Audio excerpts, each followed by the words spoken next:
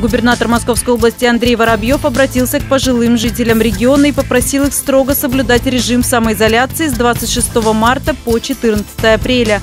Глава Одинцовского городского округа Андрей Иванов посоветовал одинцовским бабушкам и дедушкам активнее использовать домашнее время, например, для самообразования в формате онлайн. Один из удачных примеров такой деятельности – портал «Бабушка на час». Ресурс предлагает разнообразные вебинары. Присоединиться к обучению можно на любом этапе.